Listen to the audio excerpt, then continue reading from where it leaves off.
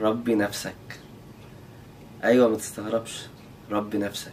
هو ده الوقت لتربية نفسك.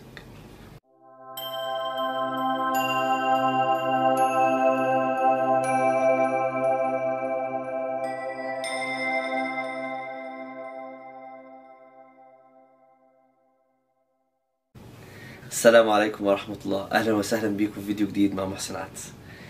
الفيديو بتاعنا النهاردة إزاي تربي نفسك. وتروض نفسك. ناس كتير مننا كان آه، في غير أيام الشهر الفضيل كان دايما يقول لي أصل الشيطان وسوسة الشيطان هو اللي بيقول لي آه، ما قدرتش أقاوم الشيطان الوسوسة صعبة قوي آه، دايما الشيطان ده دايما حاطين لومنا على الشيطان إن هو دايما اللي بيوجهنا للأفعال آه، اللي معاها الظريفة على اللي بيوجهنا للشيء المش كويس. طيب أنت فين من ده؟ انت إزاي تخلي مخلوق زي ده يسيطر عليك؟ لو انت كنت بتتحجج بالشيطان قبل رمضان فالوقت يا حبيبي اللي انت بتعمله ده نابع من نفسك من شخصك انت. خلي دايما يكون عندك النفس اللوامة. دربها كبرها خليها حفزها خليها تزيد قوتها تزيد.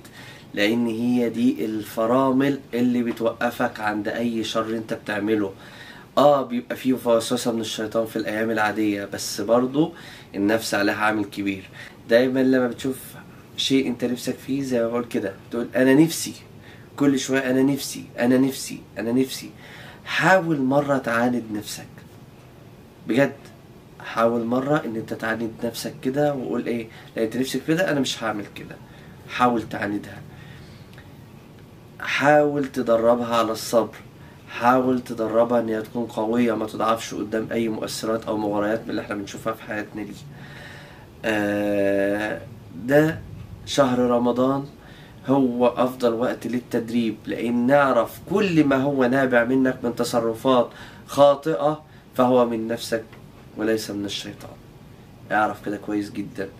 فحاول تروض نفسك تدرب نفسك دربها على الصبر. وده طبعا من آه، ضمن مميزات الصيام إن هو بيدربنا على الصبر الصبر على المغريات على الشهوات على الأفعال الخاطئة. ما فيش حاجة كل حاجة أنا آه أنا نفسي فيها لازم أجيبها دلوقتي لأ. حاول تق- تقنع نفسك بالقناعة وبالصبر على البعد عن الشهوات أو البعد عن الأفعال الخاطئة. مش كل حاجة نفسك تهواها تروح تعملها. معظم دايما معظم الأخطاء بتيجي من هوى النفس. لما خلاص أنا حاجة بحبها ممكن في بعض الأحيان تبدا تحط لنفسك المبررات. لا بس دي مكروهة مش حرام. ده اللي بيحصل. الشيء مثلا هو في الشرع إن هو مك- مكروه أو جائز إن هو إحنا ممكن نعمله أو كلام من ده فبتبدأ تسوي لنفسك وتقول لك لا ده يا سيدي عادي مش هتتحاسب عليه ده حاجة بسيطة.